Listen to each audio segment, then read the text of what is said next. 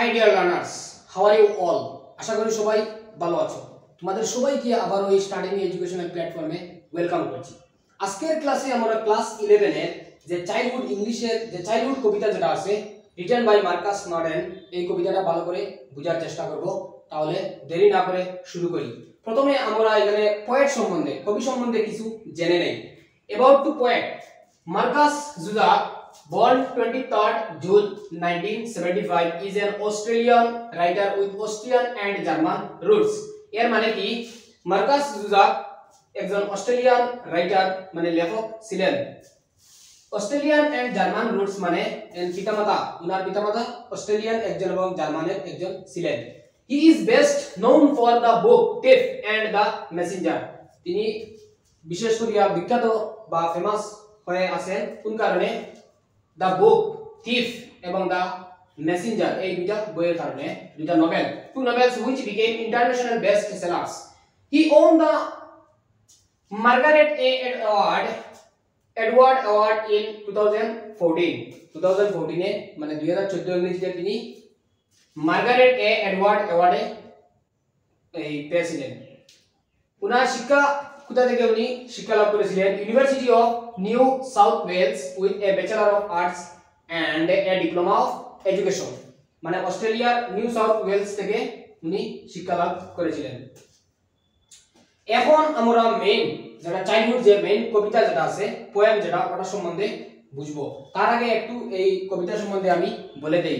এই কবিতাটা poet Marcus নাটেনে উনার নিজের ব্যক্তিগত এক্সপিরিয়েন্স যেটা চাইল্ডহুড বাল্যকাল সম্বন্ধে, উনার বাল্যকাল সম্বন্ধে যেটা উনার ফিলিং অনুভূতি যেটা আছে, এইগুলা এই কবিতার মাধ্যমে তুলে ধরেছেন।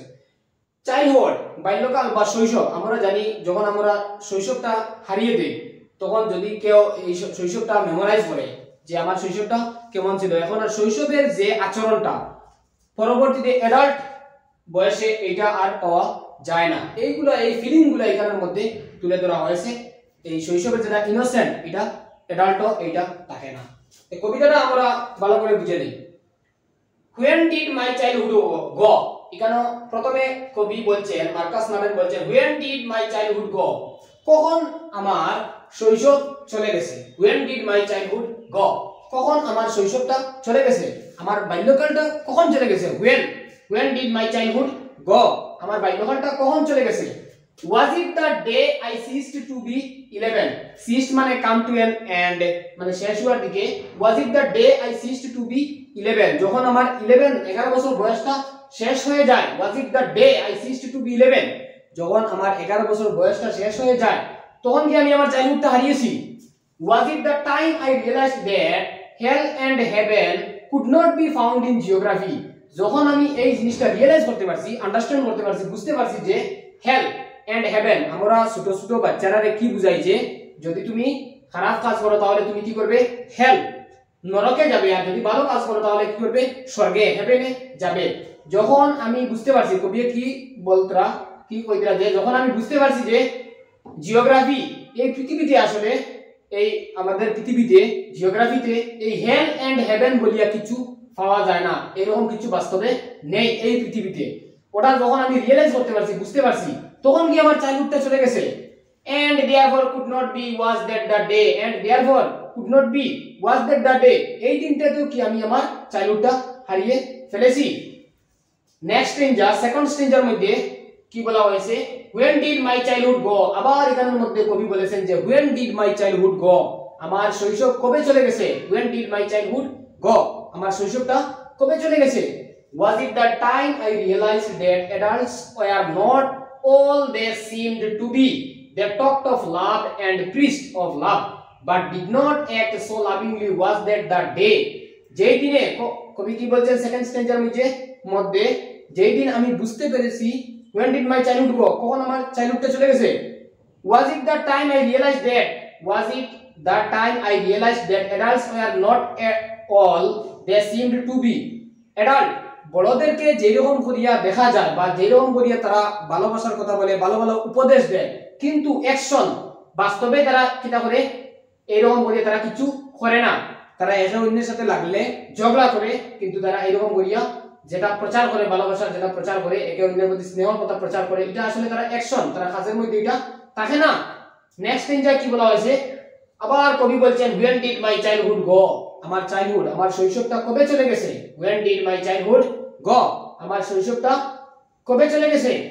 Was it when i found my mind was really mine? যেই দিন আমি এটা বুঝতে পেরেছি যে আমার যেটা মাইন্ড আমার যেটা চিন্তাধারা, এটা আমার নিজর। To use whichever way I choose I choose যেখানে আমি আমার ইচ্ছা, আমি, যা আমার ইচ্ছা, আমি সেখানে কি করতে পারি? এটা চিন্তা করতে পারি বা এটারে, আমার মাইন্ডটারে আমি ব্যবহার করতে পারি। Producing thoughts that are not those of the those of other people আমার যেটা চিন্তাধারা, আমার যেটা থট এটা অন্যের না, এটা আমার নিজের। বাট মাই ওন এটা আমার নিজের। এন্ড মাই অ্যালোন এটা শুধু আমারও। ওয়াজ দ্যাট দ্য ডে এই এইটা আমি যখন বুঝতে পেরেছি, এই দিনটিতে কি আমার চাইল্ডহুডটা চলে গেছে? Where did last stanza stanza four কবি কি বলছেন? Where did my childhood go আমার চাইল্ডহুডটা কোথায় চলে গেছে? হোয়ার ডিড বাকি স্টেঞ্জা গুলাতে কবি প্রশ্ন করেছেন যে, কখন আমার চাইল্ডহুডটা চলে গেছে? কিন্তু লাস্ট স্টেঞ্জার মধ্যে কবি বলছেন where did my childhood go আমার চাইল্ডহুড আমার শৈশবটা কোথায় চলে গেছে? It went to some forgotten place এটা কি কিছু? ফরগটেন মানে যেটা যেটা আমি ফরগটেন মানে যেটা আমি খুঁজেই ফেলেন না। ফরগটেন এমন জায়গাগুলো গেছে যেটা আমি এখন মেমোরাইজ করতে পারি না, এমন এখন আমি এটা খুঁজাইতে পারি না। That's hidden in an infant's face যেটা লুকিয়ে আছে, কোথায় লুকিয়ে আছে? Infants new born baby infant মানে লুকিয়া নিউ বর্ন বেবি ছোট ছোট বাচ্চারা মুখের মধ্যে যেটা কি আছে? লুকিয়ে আছে। দ্যাটস অল আই নো যেটা আমি জানি। তাই এই কবিতার মাধ্যমে, এই চাইল্ডহুড কবিতার মাধ্যমে কবি মার্কাস নাটেন বাল্যকাল শৈশবের কিছু হারিয়ে ফেলা অনুভূতিগুলা এখানের মধ্যে তুলে ধরেছেন। আশা করি এই শর্ট একটা কবিতা চাইল্ডহুড কবিতাটা, আশা করি আমি যা বলেছি, একটু কিছু বুঝাতে পেরেছি। এইরকম যদি আরও ভালো ভালো ক্লাস দেখতে চাও, তাহলে অবশ্যই এই স্টাডিমি চ্যানেলটা সাবস্ক্রাইব করে বন্ধুদের সাথে শেয়ার করবে। ধন্যবাদ।